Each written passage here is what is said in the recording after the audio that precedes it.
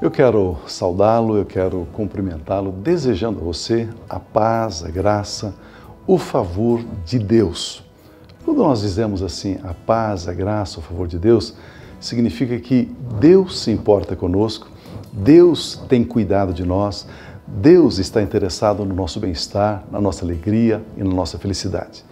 Este programa, esse projeto, a Igreja em Sua Casa, visa entrar no seu lar através da tecnologia, através do computador, para que você receba uma porção, uma medida da palavra de Deus, para encorajar você, para que você possa pensar como Deus pensa.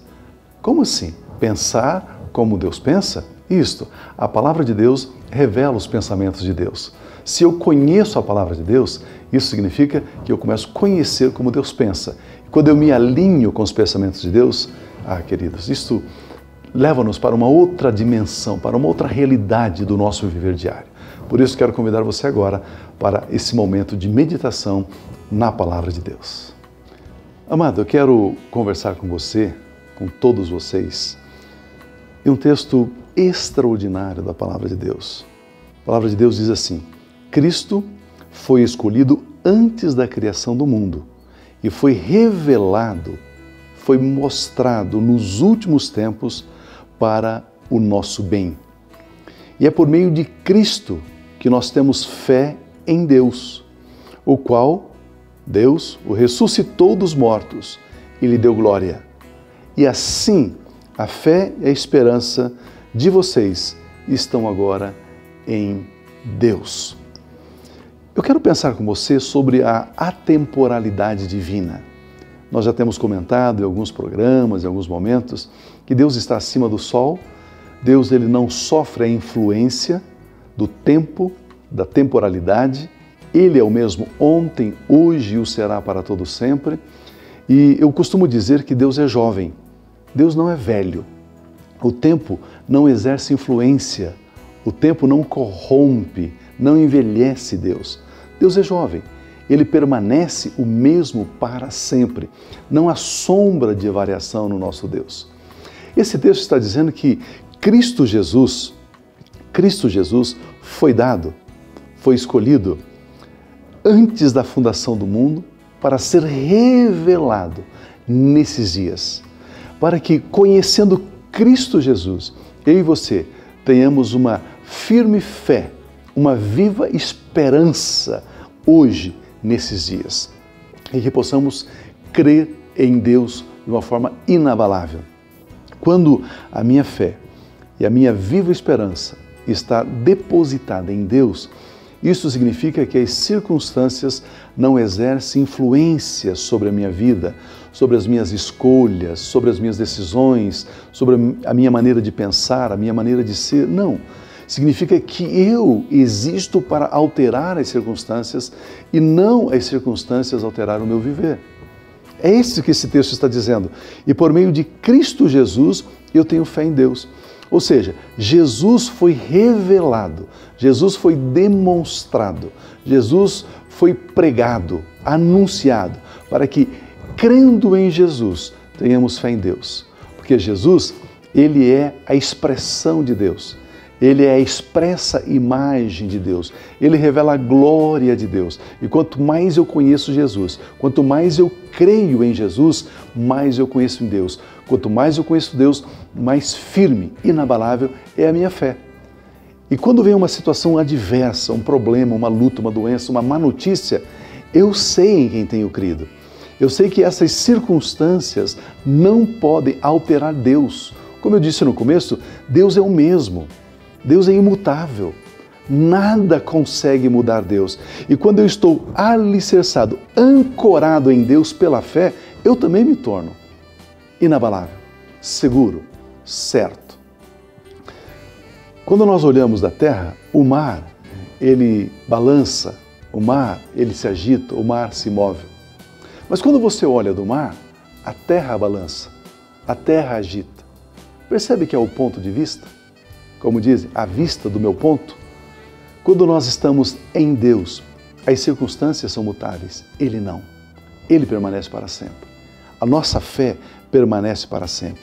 Quero ler mais uma vez o texto que diz: E é por meio de Cristo Jesus que nós temos fé em Deus. Quando nós estamos ancorados na rocha que é Jesus, nós temos fé em Deus, o qual o ressuscitou. Deus ressuscitou Jesus dos mortos e lhe, e lhe deu glória. E assim, a fé e a esperança de vocês estão agora em Deus através de Cristo Jesus. Pense nisso. Leia a palavra de Deus, conheça Deus, esteja alicerçado, enraizado, esteja ancorado em Deus e você se torna uma pessoa inabalável e você vai alterar essa situação da sua família, do seu filho, do seu esposo, da sua esposa, da sua empresa, do seu projeto de vida, do seu emprego, dos seus sonhos. Eu tenho certeza que você em Cristo Jesus é mais que vencedor e alcança tudo o que Deus tem para você. Eu quero convidar você agora para o nosso momento de oração. Você está conectado com o programa A Igreja em Sua Casa. Você pode mandar o seu e-mail para abatv.aba.org.br. Você pode acessar o facebook.com barra a igreja em sua casa, tudo junto, compartilhar com uma pessoa, com um amigo essa palavra. Você pode dizer o seguinte, olha, eu vou semear essa palavra na sua vida. Com um clique, você vai compartilhar. Eu tenho certeza, eu tenho certeza que as pessoas vão agradecer você, porque a palavra de Deus, ela consola, ela edifica. Nós temos aqui algumas pessoas que enviam seus e-mails, seus pedidos de oração, é, compartilhando a sua necessidade para que a gente possa orar. Eu tenho aqui, por exemplo, Valéria, eu tenho aqui a Cristina, eu tenho aqui a Luíse, eu tenho aqui a Cláudia, eu tenho aqui Marcelo, Érica, tenho aqui a Eliane. São tantas as pessoas que vão compartilhando, que vão falando do projeto, do programa.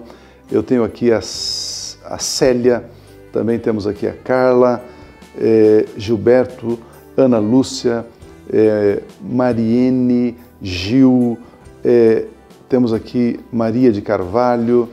É, queridos, são tantas as pessoas que vão compartilhando aqui é, esse projeto, esse programa Igreja em Sua Casa, abençoando tantas pessoas. Muito obrigado pelo seu e-mail, pelo seu pedido de oração. É isso que vamos fazer agora. Vamos orar por você que tem pedido e também por você que já tem recebido, para que você possa continuar crescendo na graça e no conhecimento de Cristo Jesus. Vamos orar a Deus. Pai, obrigado. Obrigado por esse tempo tão especial da igreja em sua casa.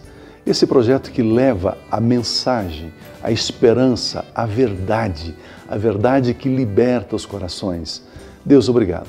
Eu quero, Senhor, pedir que o seu toque seja poderoso nesta vida agora, trazendo libertação, saúde no físico, na alma, no espírito, restaurando este coração para uma viva fé, para uma viva esperança em Deus, na pessoa de Cristo Jesus.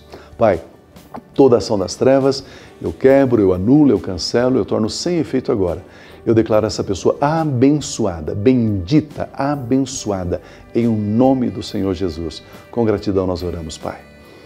Muito obrigado pelo seu contato, muito obrigado pelo seu acesso. Permaneça conosco. Eu tenho certeza que Deus tem algo tremendo para a sua vida. Permitido Deus, na próxima semana estamos com um novo programa para abençoar o seu coração. Fique na paz de Cristo Jesus.